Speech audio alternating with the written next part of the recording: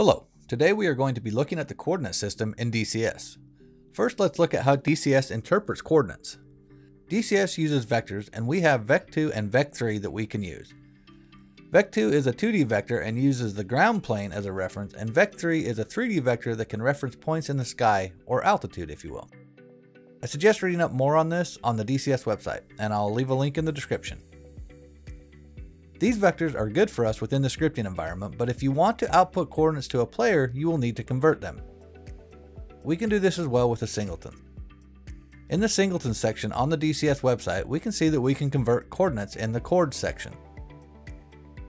However, before we can do any of this, we need to know how to get the coordinates within DCS. To do this, we'll take a look at the getPoint function within the object section of the DCS website.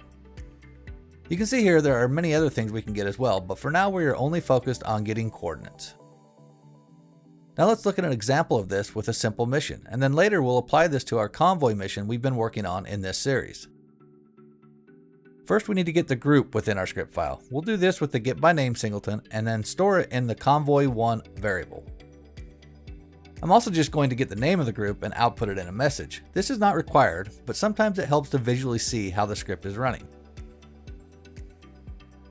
Being our group has more than one unit, let's get the units within the group with the get units command so that we can get specific coordinates of one of the unit. Now that we have the group and all the units in it, we can get the point of one of the units with get point. This will return the coordinates in vec3 format. For this example, let's just grab the coordinates of the first unit. Once we have the point, we can extract the x, y, and z specific coordinates. Always remember that x is north-south, Z is east-west, and Y is up-down or altitude. Let's output these as well so that we can see them when the mission runs, along with the other data so that we can compare them to the map coordinates. Again, this is not required, but it will help visualize the script. So here I already have a very simple mission set up for testing. Let's add our script file in the triggers and load it to see this in action.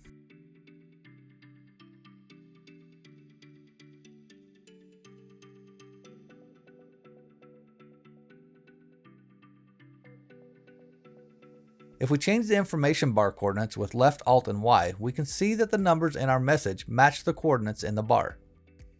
We now have the exact position of the first unit of our group. From here we can do a lot of things, but for now we are just going to convert these to an MGRS format and output them in a message. First we'll need to change it from vec3 to lat long and then convert lat long to MGRS. We'll do this with the LO to LL command followed by an LL to MGRS command. You can do all of this in one line, but laying it out like this makes it easier to see what is going on. Again, I'm going to send a message just so that we can see what is being done. Now that we have our MGRS coordinates, we need to know how to extract the data.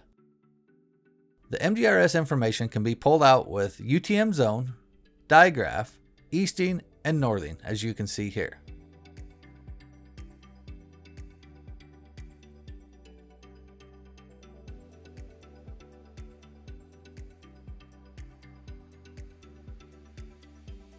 I have purposely placed the group in the mission editor to where the MGRS coordinates have preceding zeros. The Lua string will not recognize this, so we need to do some coding to add these zeros if needed.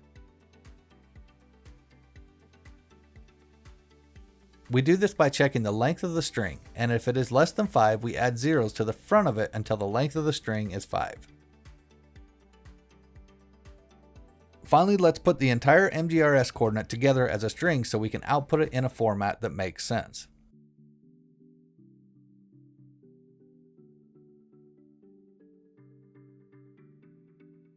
Now we can run the mission and look at all the data we have. As you can see, the raw MGRS coordinate does not have the zero originally, but once the script runs, it recognizes that it is in the improper format and the zeros are then added as you can see in our final output. We can use the other functions within DCS to get other coordinate formats as well, so be sure to use what is appropriate for your mission. We now know how all of this works, let's put it together in a better script file that is more compact and create some functions that we can call when needed to get a coordinate. As you can see, we didn't bring all of the messages over, and we have condensed it much more and put all of it inside of one function. I also stored some of the data in variables. This just makes it easier to handle. Now when this function is called, the MGRS string will be output with the return function. For now, we'll just do a message to call the function, but when we tie it into the convoy mission, this will be done a bit differently as you will see soon. Let's give this another test just to make sure we didn't break anything before we implement it in our convoy mission. Now with all of the other messages removed, we only get the MGRS coordinates displayed. And as you can see, it is in the proper format and matches the information bar coordinates. You might also note that I'm only displaying four numbers instead of the full five. If we take a closer look at the script file, you can see where I did this with the string.sub.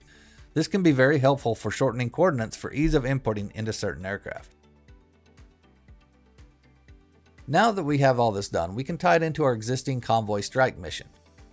First, we'll put the function in, and then we can simply add lines in our activation script that will update the message so when it is generated, it will include the MGRS coordinates.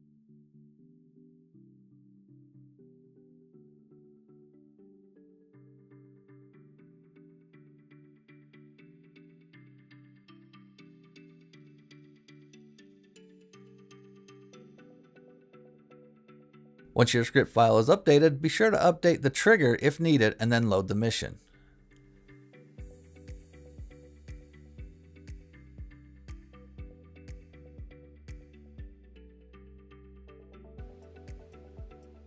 As you can see, based on the group response, the coordinates change in our message.